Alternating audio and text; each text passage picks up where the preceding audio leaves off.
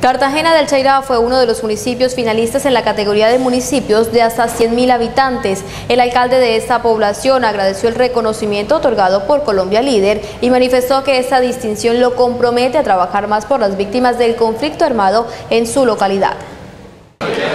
Continuamos con esta cobertura especial desde la ciudad de Bogotá de la entrega de los premios por parte de Colombia Líder, la OIM y la USAID.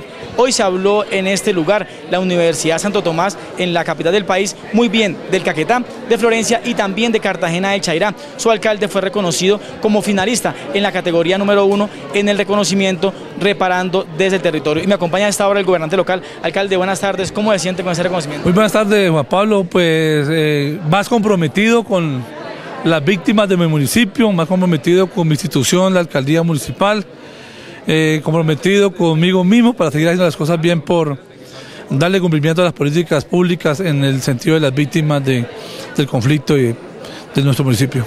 ¿Qué significa que Cartagena de Chaira esté en boca de los colombianos, pero por algo positivo? Eh, es de esperar, es un trabajo que se ha venido desarrollando, un trabajo de la institución, eh, las cosas van cambiando, el país eh, cambia y esperamos que el nuevo reconocimiento de nuestro territorio como Cartagena del Chairá en la atención a víctimas pues sirvan para que todas las instituciones de cooperación internacional, las entidades del Estado, eh, pongan los ojos en Cartagena del Chairá como municipio que está comprometido en darle cumplimiento a las políticas en nuestro municipio. Alcalde, y finalmente, ¿cuál es ese compromiso con las víctimas? ¿Cómo va a trabajar por ellas en esos cuatro años?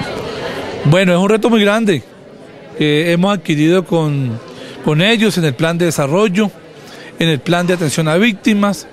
Tenemos proyectos ya con ellos adelantados, por ejemplo, tenemos eh, con la Universidad Javeriana la elaboración y la gestión del proyecto para el bosque de la memoria histórica en las víctimas en Cartagena del Chairá. Con la OIM hemos firmado convenios para eh, alimentación, para generación de ingresos. Estamos trabajando con el Ministerio de, Vivienda para la reparación integral en vivienda, la gente desplazada de Peñas Coloradas, en el barrio Catalina Muñoz. Entonces, una serie de compromisos grandes que hemos adquirido y con los pocos recursos que contamos y con la acción que vamos a hacer, vamos a darle cumplimiento a estos compromisos.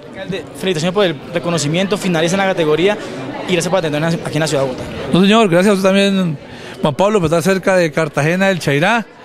Y estamos para seguir trabajando por la institución, por las víctimas y por toda la comunidad general.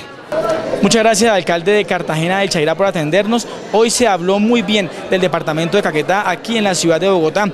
El gobernador Álvaro Pacheco Álvarez, reconocido como el mejor gobernador el alcalde de Florencia, reconocido como el mejor alcalde de ciudades capitales, y el alcalde de Cartagena de Chaira, nominado como finalista en la categoría número uno. En ese trabajo que hace Colombia Líder, la USAID y la OIM por reconocer a los gobernantes locales el trabajo articulado que hacen para atender y reparar a las víctimas del conflicto armado.